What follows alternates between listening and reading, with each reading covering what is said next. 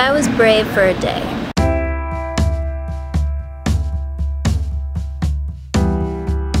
If I was brave for one day, I would call up one of my friends and ask if they wanted to hang out.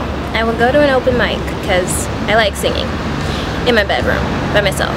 I would walk into the place I want to work and ask if they're hiring. When I go to concerts, I would actually sing out loud.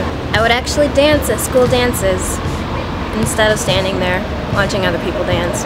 I would eat lunch with people and not always by myself. I would smile at people as I walked down the street. I would talk to people as much as I talked to my camera.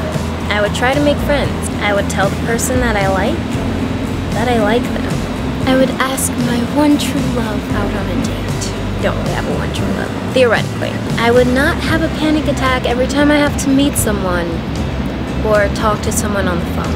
I would be free and relaxed everywhere I go.